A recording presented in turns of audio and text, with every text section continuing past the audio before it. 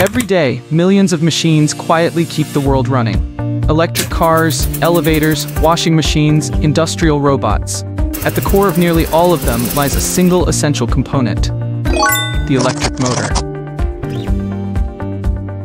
But what powers the motor itself? How is it made, and where do the raw materials come from?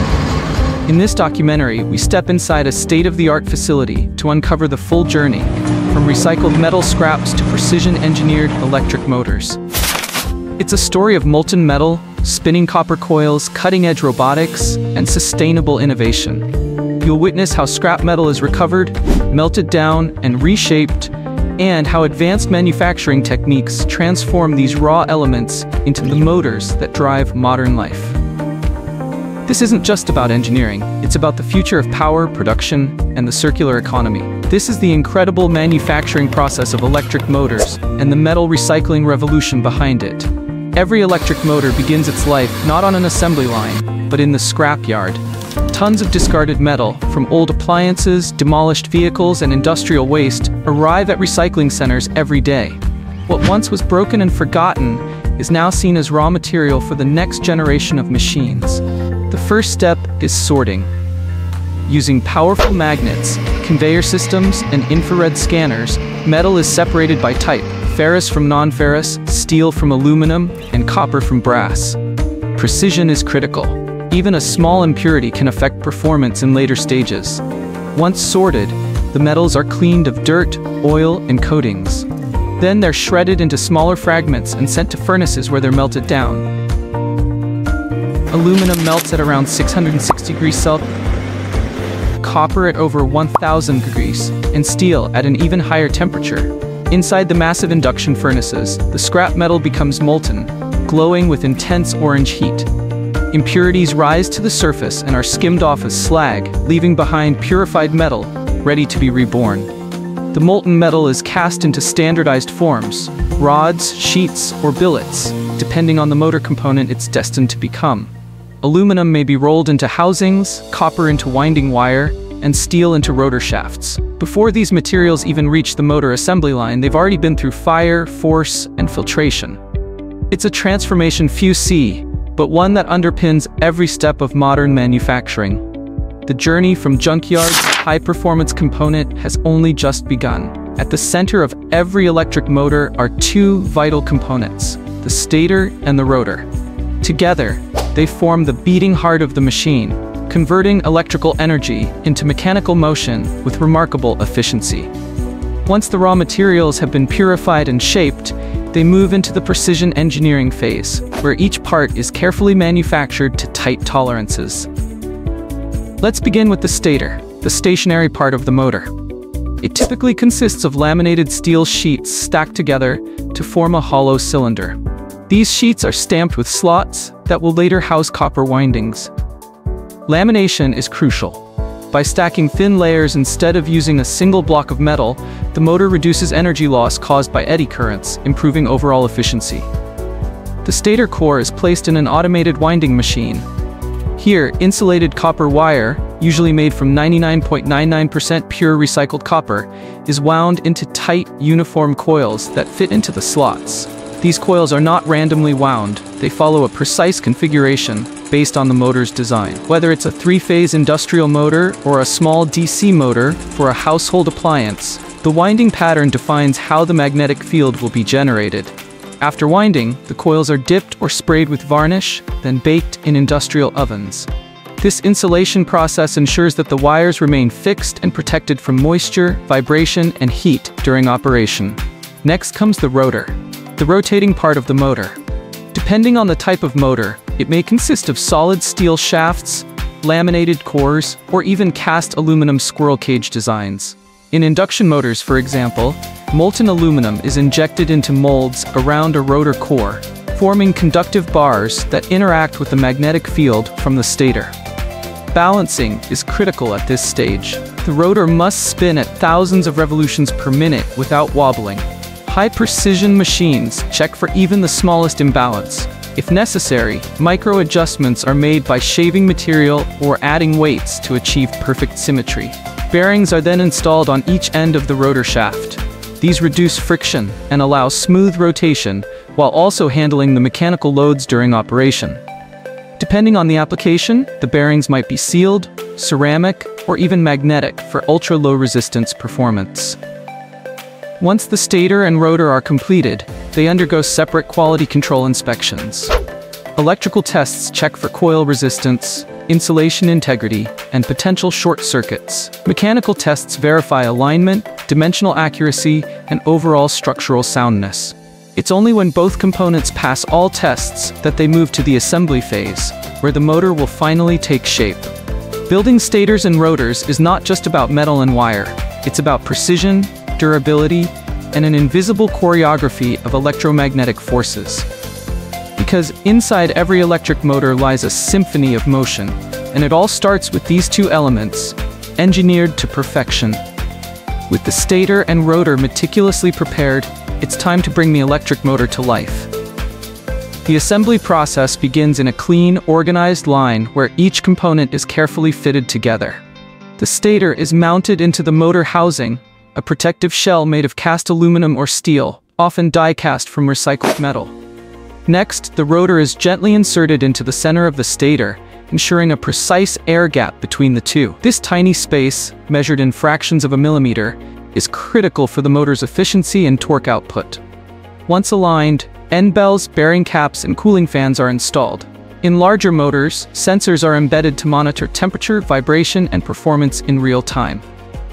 Now comes the moment of truth, testing. Each assembled motor undergoes a series of rigorous quality control checks. First, it's powered on and run through various speed and load conditions. Engineers monitor electrical consumption, heat buildup, and vibration levels. Any irregularities, such as excess noise or current imbalance, trigger a full diagnostic. For motors used in sensitive environments like aerospace or medical devices, testing becomes even more intense. Motors may be subjected to simulated environments, high altitudes, extreme temperatures, or continuous 24-hour runs to validate durability. Only motors that meet or exceed performance standards move on to final packaging.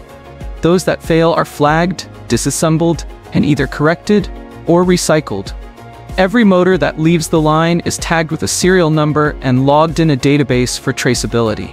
Whether it's destined for a factory floor, an electric scooter, or a wind turbine, one thing is clear. Its journey from scrap to spinning power is nothing short of extraordinary. Every factory generates waste, offcuts of aluminum, worn-out copper wire, broken bearings, and defective components. But in modern manufacturing, Waste is no longer the end of the line, it's the beginning of something new. Metal recycling is not a side process, it's a central pillar of sustainable industry. In the electric motor factory, a dedicated section is designed solely for collecting and processing metallic byproducts. The process begins with collection. Every scrap, from a trimmed copper wire to a rejected steel shaft, is sorted and deposited into labeled bins. Workers and machines collaborate to separate materials with precision, copper, aluminum, and steel are never mixed. Even slight contamination can compromise the integrity of recycled alloys. To speed up sorting, advanced detection systems are used. Induction sensors, X-ray fluorescence, XRF scanners, and automated vision tools identify metals based on density, conductivity, and chemical composition. These high-tech systems reduce error and maximize recovery, once sorted, the metals are prepared for shredding. Large industrial shredders chew through hardened parts and tangled wires with ease, breaking them down into uniform chunks. The goal isn't just reduction, it's surface area. The smaller the pieces, the easier it is to melt and purify them later. After shredding, magnetic separators remove any ferrous contaminants from non-magnetic metals. Then eddy current separators isolate aluminum, and density-based systems sift out copper. The result is a clean, sorted stream of valuable raw material ready for resmelting. But recycling doesn't stop at sorting and melting. Inside the furnace, these metals undergo a second transformation. Recycled copper is refined to 99.99% purity, good enough for electrical-grade wire. Aluminum is cast into ingots or extruded into new housing components. Steel is alloyed and rolled back into rotor shafts and fasteners. The energy required to recycle metal is a fraction of what it takes to mine and process virgin ore. Recycling copper, for example, uses up to 85% less energy than mining. That translates into lower emissions, reduced environmental impact, and more sustainable production overall. What's more, metals can be recycled infinitely without losing their core properties. Unlike plastic or paper, which degrade over time, copper, steel, and aluminum retain their strength, conductivity, and resilience through countless cycles. This circular approach turns the factory into a closed-loop system. The waste of today becomes the resource of tomorrow, Scraps are reborn as stators, rotors, casings, and eventually, as fully functional motors powering the next generation of devices. Recycling also protects supply chains from raw material shortages. As global demand for electric motors grows, driven by electric vehicles, renewable energy, and automation, reliable access to copper and rare metals becomes crucial. Recycling helps bridge the gap. It's not just good economics, it's smart engineering and a powerful way to align manufacturing with environmental responsibility. In the end, every spinning motor tells a deeper story, not only of precision mechanics, but of a cycle that keeps resources in motion, just like the rotor it powers. At the heart of metal recycling lies one of the oldest and most awe-inspiring processes in human industry, melting. In this chapter, we enter the fiery core of the factory, where scrap metal is reborn in furnaces hotter than volcanoes, once sorted and shredded, metals are sent to their respective smelting stations. Each type of metal requires different treatment. Copper is melted in induction furnaces that reach over 1100 degrees Celsius. Aluminum melts at around 660 degrees Celsius, while steel demands temperatures exceeding 1500 degrees Celsius. These furnaces are no ordinary ovens. Using electromagnetic induction, massive coils generate high-frequency currents that heat the metal rapidly and evenly, Inside, the shredded pieces glow and liquefy, forming a swirling pool of molten metal. But before this liquid metal can be reused, it must be purified. Impurities, known as slag, float to the top of the molten bath. These can include oxides, dirt, old coatings, and traces of other metals. Operators add fluxes, such as borax or limestone, which bond with the impurities and help them separate more easily. The slag is skimmed off the surface and collected for further treatment or safe disposal. For metals like copper, further electrolytic refining may follow.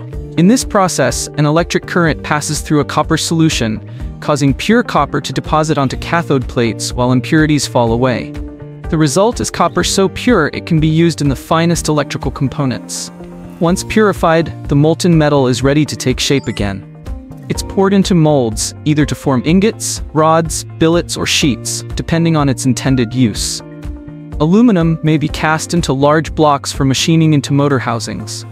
Copper may be extruded into long wire rods that will later be drawn and insulated for motor windings. Steel is often cast into billets, then sent to rolling mills where it's shaped into shafts, laminations, or fasteners used in motor assemblies. Throughout this process, Temperature, viscosity, and cooling rates are tightly monitored. Too hot, and the metal might develop cracks during cooling.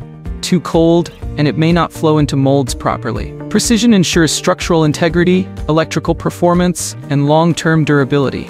After cooling, the solidified forms are trimmed, cleaned, and inspected.